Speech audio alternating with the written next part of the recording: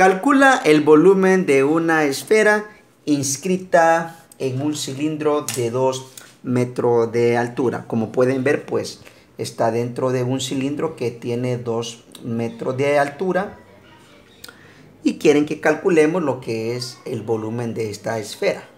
Para poder calcular ese volumen, chicos, hay que tener presente que el volumen de la esfera es igual a qué? A 4 tercios por pi por el radio al cubo. ¿Y eso a qué va a ser igual? Decimos nosotros entonces que el volumen de la esfera va a ser igual. Si gusta, pues sustituimos los valores como de la siguiente manera. Tenemos lo que es 4 tercios según la fórmula. ¿Por quién?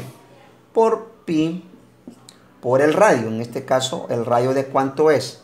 Si ustedes observan, el radio es de un metro. Aquí lo tenemos, ¿verdad? Del centro al punto de la circunferencia tenemos lo que es un metro elevado al cubo.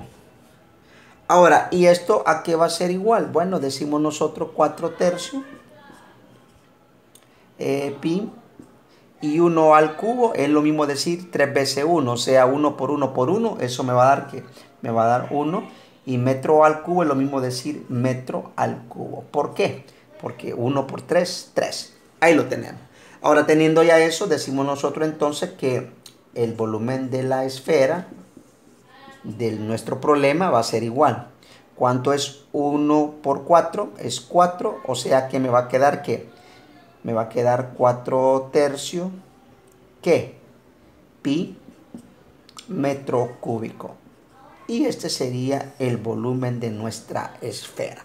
Bueno, si te gustó el video, dale like, compártelo. Si todavía no estás suscrito a mi canal de YouTube, te invito a que te suscribas. Dios te bendiga y buena suerte con tus ejercicios. Chao.